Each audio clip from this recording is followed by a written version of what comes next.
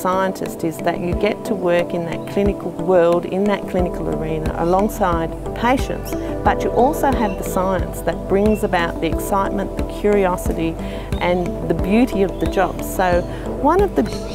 best reasons to study biomedicine is to not only gain an understanding about how to treat um, patients with disease, but also understanding the disease so that you can help to bring about the treatments of the future. I'm Dr Donna Rudd. I'm from the discipline of biomedicine and the College of Public Health, Medical and Veterinary Sciences at James Cook University. So biomedical sciences is the study of all things living. We study health and we study disease and we do that because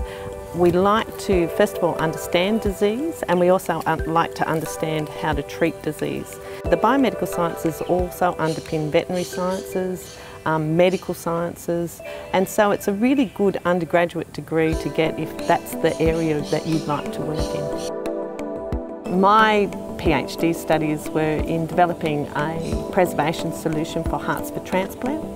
and we worked on that for many years, developing a solution that could um, look after a heart that, that was not receiving any oxygen or metabolites. Probably my best discovery was the ability to take um, a heart and put it in a plastic bag in the fridge for eight hours and have it come out and work to nearly 80% of its original function. The um, technology that we developed in that then informs um, the types of um, treatments that can be used for people for heart transplant and then give them longer times for preservation of those hearts in between the operation and the person getting to the hospital.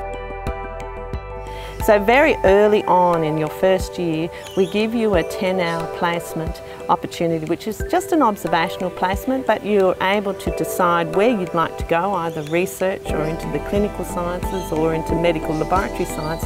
So we try and um, give you every opportunity to meet the people that work in the field and go and experience it as well.